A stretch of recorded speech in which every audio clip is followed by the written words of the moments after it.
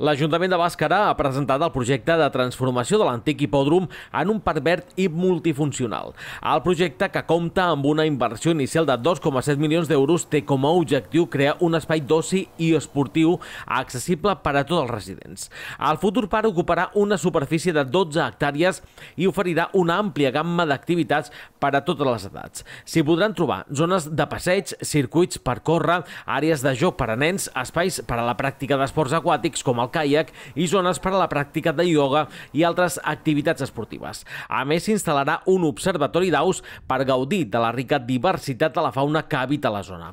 La part baixa del parc, prop del riu Fluvià, estarà destinada a passejos amb zones habilitades per a bicicletes i un observatori d'aus. També s'està considerant la creació d'un aparcament d'autocaravanes i serveis de restauració.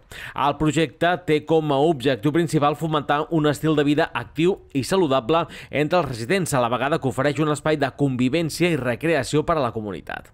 Amb aquesta transformació, l'antic hipòdrom es converteix en un punt de trobada per als residents locals i també una destinació turística emergent a la comarca de l'Alt Empordà.